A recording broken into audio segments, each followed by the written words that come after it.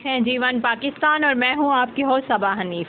आज जैसा कि फादर्स डे है तो हम उसके अकॉर्डिंगली बात करेंगे। जैसा कि आप सब जानते हैं कि फादर्स डे में हम बाप को सेलिब्रेट करते हैं अपने वालिद साहब को। इसकी सेलिब्रेशन का ये मकसद तो नहीं है कि हम किसी को या किसी की चीज़ों को फॉलो करें। इसका मकसद सिर्फ़ ये है कि हम जैसा कि आजकल बहुत बिज़ी लाइफ गुजर रही है, उसके अकॉर्डिंगली जैसा कि पेरेंट्स के लिए पेरेंट्स के पास, बच्चों के लिए और बच्चों के पास पेरेंट्स के लिए मसरूफियात के बायस टाइम नहीं होता।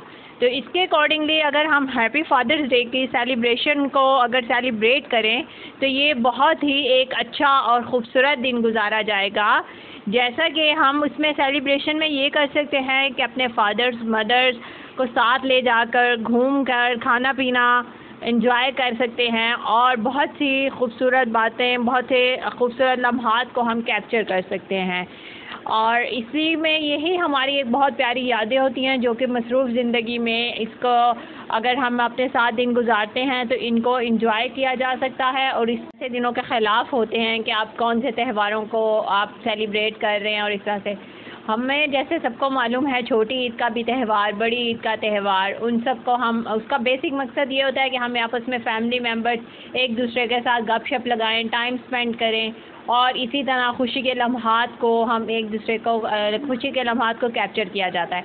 इसी तरह fathers day mothers day teachers day मनाया जाता है।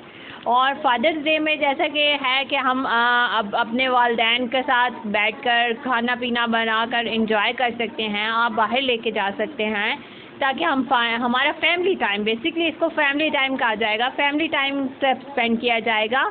और उसमें ये होता है कि हम आपस में एक दूसरे के साथ गप शप लगाते हैं, जैसे कि बहुत ही मसरूफ़ ज़िंदगी आजकल।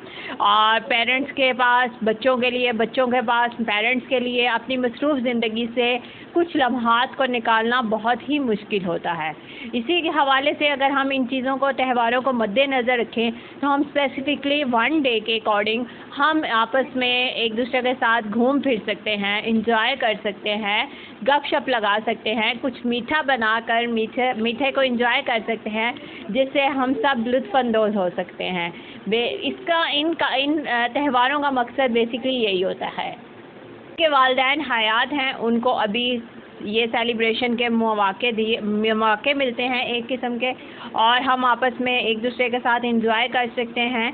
और जिनके वालदेन इस दुनिया में नहीं हैं, उनके इसाल सवाब के लिए वो कुरान खानी या तस्बीहात पढ़कर उनको इस हाल सवाब पहुँचा सकते हैं, ताकि उनकी रूहों को भी इसका सकून मिले और सवाब मिले।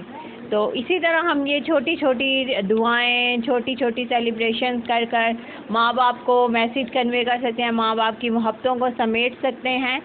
यही हमारे लिए बहुत ही खुशी का बायस बन सकते हैं और इनका इन दिनों का मनाने का बेसिकली यही मकसद। हमने तो बहुत अच्छे तरीके से सेलिब्रेशन की और कोशिश भी की। अब हम जानना चाहेंगे कि आ, हम कमेंट्स में जानना चाहेंगे कि आप लोगों ने फादर्स डे को कैसे मनाया।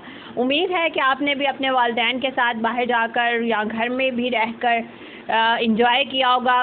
खाने शाने बनाए होंगे, खूब हल्ला गुल्ला मस्ती की होगी और खूब इंजॉय किया होगा। इसी के साथ हम इजाज़त चाहते हैं आपसे। थैंक यू सो मच अपना बहुत सारा ख्याल रखिएगा और अपने पेरेंट्स का भी बहुत ख्याल रखिएगा।